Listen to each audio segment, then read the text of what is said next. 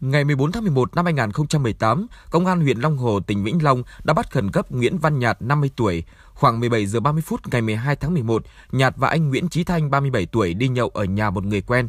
Trong lúc nhậu, Nhạt và anh Thanh xảy ra cự cãi nhưng được mọi người can ngăn. Sau đó cả hai đi về để ngủ.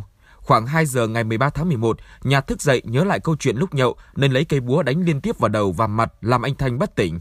Vụ việc được người dân gần đó phát hiện và nhanh chóng đưa nạn nhân đi cấp cứu trong tình trạng nguy kịch. Sau khi gây án, Nhạt bỏ trốn khỏi hiện trường. Đến ngày 14 tháng 11, bị công an bắt giữ khi đang lẩn trốn tại thành phố Cao Lãnh, tỉnh Đồng Tháp. Tại cơ quan công an, Nhạt đã thừa nhận hành vi phạm tội của mình.